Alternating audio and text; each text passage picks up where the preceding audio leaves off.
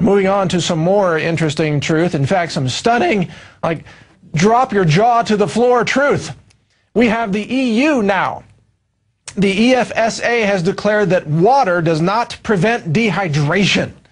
Yeah, this is a story that I actually covered on naturalnews.com, and it reveals that an, a new EU directive has now declared that if you sell bottled water and you claim that that water can prevent dehydration, you are in violation of health laws and marketing laws across the European Union today.